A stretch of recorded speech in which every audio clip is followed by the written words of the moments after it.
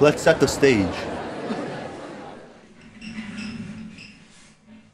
Jesus of Nazareth was a poor carpenter who had been working in his father's carpentry shop for around 30 years. Despite his age, he was still not married, something that was heavily frowned upon in Jewish culture. Even worse, virtually all of his contemporaries believed that he was born from an adulterous affair, as evidenced by people's accusations.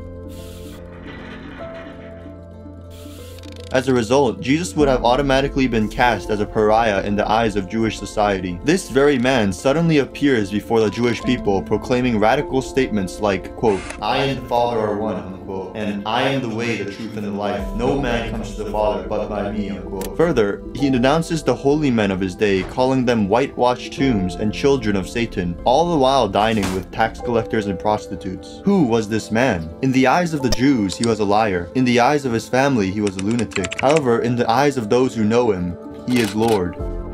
Crafted by the renowned British scholar and author C.S. Lewis, this famous liar, lunatic, or Lord trilemma serves as a basis for examining the identity of Jesus. Quote, A man who is merely a man and said the sort of things Jesus said would either be a lunatic on the level with a man who says he's a poached egg, or else he would be the devil of hell. You can shut him up for a fool, you can spit at him and kill him as a demon, or you can fall at his feet and call him Lord and God. But let us not come with any patronizing nonsense about his being a great human teacher. He has not left that open to us. He did not intend to, unquote. In this month of December, as nativity scenes are set up all across the globe, I want to narrow in upon the last of the trilemma, Lord.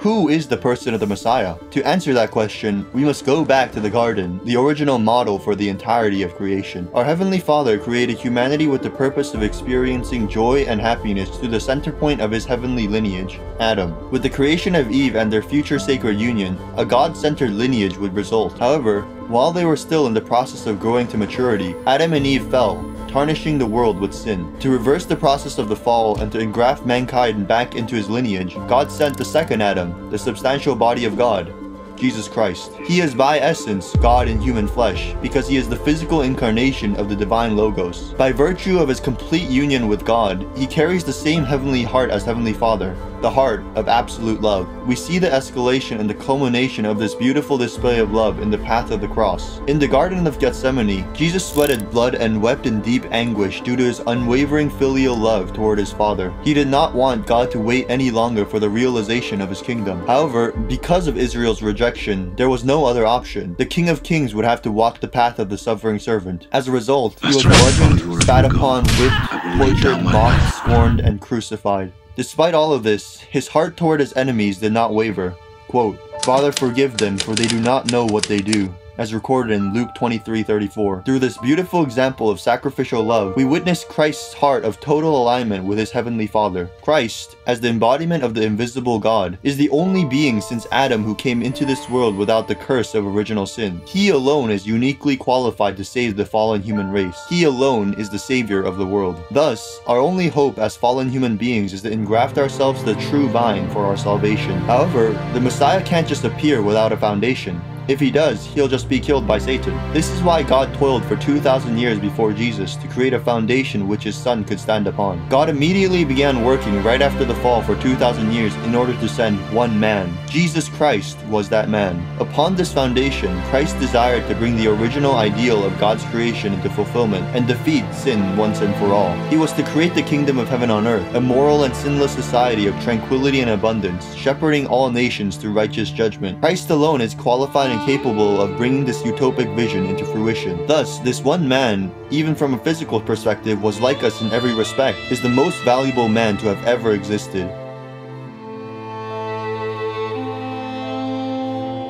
That one man is worth more than all of them put together. You take mountains and molehills, crickets and clowns. You take everything, every planet, every star, every form of beauty, everything that sings, everything that brings to light, and you put it all in the scale. Then you put Christ on the other side, and He outweighs them all. He outweighs them all.